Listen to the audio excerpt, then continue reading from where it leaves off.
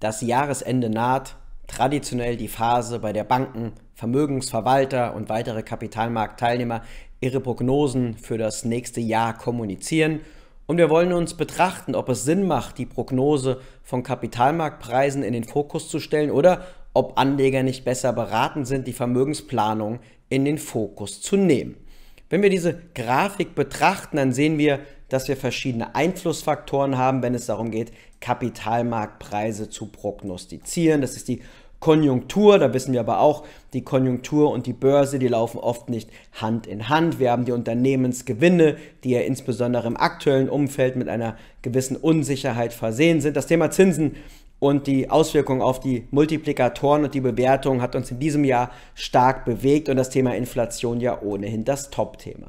Wenn wir also diese verschiedenen Einflussfaktoren miteinander multiplizieren, dann sehen wir, wie schwierig es ist, daraus Ableitungen für die Zukunft zu treffen. Die Herausforderung ist also groß. Vielleicht kann man noch auf der langfristigen Perspektive für die Entwicklung auf 10 Jahreszeiträume vernünftige Prognosen anstellen, was die relative Attraktivität verschiedener Vermögensklassen zueinander angeht. Aber die kurzfristige Kursprognose von Kapitalmarktpreisen, die ist doch verschiedene Liebesmüh, weil die Kapitalmarktpreise und die Kapitalmarktteilnehmer sich natürlich auch adaptieren. Also viele Inputparameter, die miteinander verknüpft werden, führen also zu schlechten respektive unrealistischen Prognosen. Wenn wir dagegen die Finanzplanung und Vermögensstrukturierung mit ihren Instrumenten betrachten, dann sehen wir hier beispielsweise die Vermögensbilanz, also das Verständnis für den heutigen Status quo. Die Vermögensbilanz können wir nach Kriterien wie Rendite, Risiko, Verfügbarkeit, und Liquidität auswerten. Wir können die steuerliche Effizienz prüfen. Wir können eine Liquiditätsplanung anstellen, die mögliche Aspekte aus fälligen Commitments für Private Equity oder Infrastrukturbeteiligung berücksichtigt, die mögliche Erbfälle und Unternehmensverkäufe oder Immobilieninvestitionen in einem Zahlungsplan abbildet. Wir können eine klar formulierte Anlagestrategie herstellen, strategische Quoten, taktische Bandbreiten, die können wir definieren. Wir können insgesamt ein vernünftiges Erwartungsmanagement haben. Was können wir eigentlich erwarten an langfristigen Kapitalmarktpreisen für Anleihen?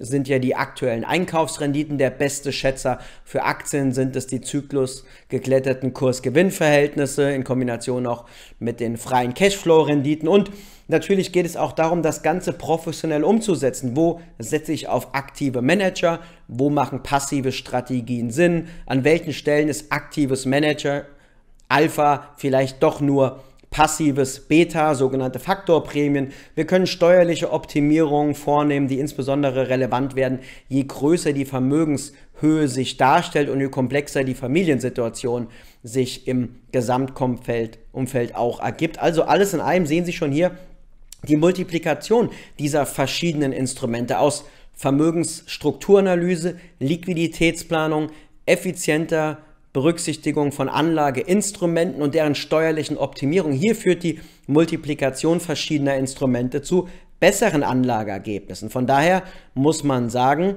in Abgrenzung zu den Kapitalmarktprognosen, dort sind viele Faktoren, die miteinander verknüpft werden, verschlechtern die Prognosequalität und ohnehin ist es sehr schwierig, Preise vorherzusagen, wohingegen Sie bei der Finanzplanung und Vermögensstrukturierung ein besseres Ergebnis bekommen, wenn Sie die genannten Instrumente intelligent verknüpfen. Von daher sollten Anleger auch den ersten Fokus auf die Vermögensplanung legen und erst im zweiten Schritt auf die Umsetzung, auf die letzten Details der Preisprognosen, weil am Ende des Tages wissen wir doch auch, egal welche Prognose zur Inflation, Zinsen und DAX und Co. kommen, am Ende des Tages kommt es immer anders als gedacht und da ist das aktuelle Jahr 2022 wahrscheinlich auch wieder mal keine Ausnahme und in diesem Kontext sollte man auch die Prognosen von 2023 nehmen. Die sind interessant, um sie zu reflektieren, aber der Fokus der Anleger und der große Mehrwert für den Erfolg der Anlage